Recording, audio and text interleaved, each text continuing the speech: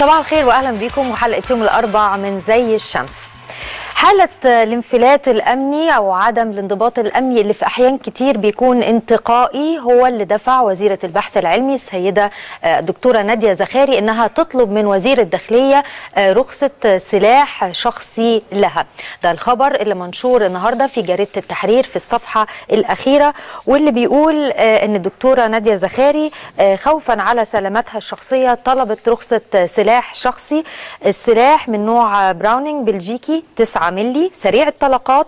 مسدس نصف أوتوماتيك يتمتع بمميزات عديدة من حيث القوة البالغة والإصابة الجيدة ودقة المسافات المؤثرة. كما أن المسدس مداه بعيد بالنسبة للمسدسات الأخرى وسعره حوالي 6000 جنيه.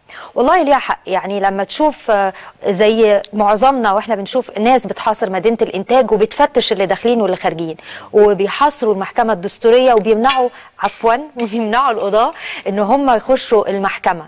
كل المظاهر دي للانفلات أكيد هتخلي الواحد إن هو يخاف ويفكر فعلا إن هو يحمل سلاح وخصوصا لما يكون في قادة أو قياديين كبار في أحد الأحزاب الكبرى في مصر بيتكلم عن تسليح شباب الجماعة. طيب نتحول لمشهد القضائي عندنا في مصر ومع قرب الاستفتاء مرحلة تانية من الاستفتاء على مسودة الدستور يوم السبت القادم في انقسام في الشارع القضائي.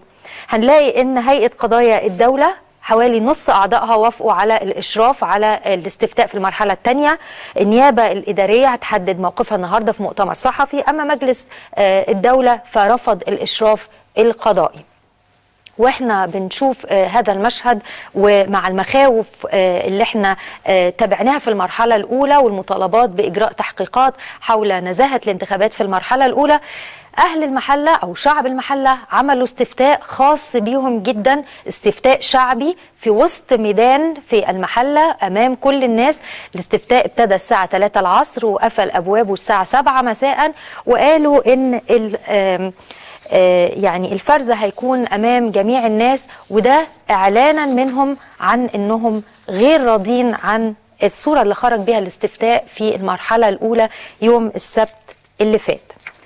نحب برضو نقول لحضراتكم إن آخر خبر حسب ال ال يعني نتائج شبه النهائية إن 68% من المصريين في الخارج وافقوا على الدستور.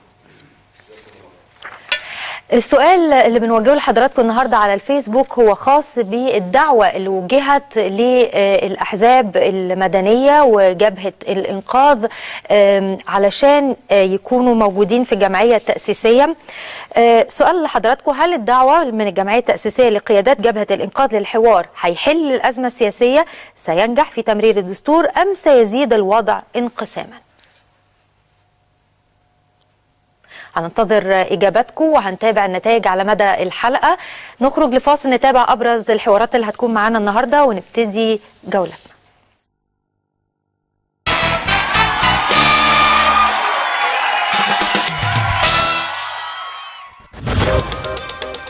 في يوم الأربعاء زي الشمس معاك في الفقرة المرورية. علشان تتعرف على أماكن الزحمة وتختار طريقك بعيد عنها. قراءة في أهم الأخبار وعناوين الصحف المصرية الصادرة صباح اليوم مع مصطفى شوقي عضو المكتب التنفيذي للتيار الشعبي. فقرة خاصة عن تطورات استقالة النائب العام وتأثيرها على إشراف القضاء على الجولة الثانية للاستفتاء وتداعيات اعتصام النيابة العامة. فقرة أخرى عن انهيار الجنيه المصري وأسباب ارتفاع أسعار الدولار والعملات العالمية وتأثيرها على الاقتصاد المصري. عيشها صح. مبادرة شبابية هنتعرف عليها في فقرة خاصة. ومدى استفادة الشباب وطلبة الجامعات منها في سوق العمل.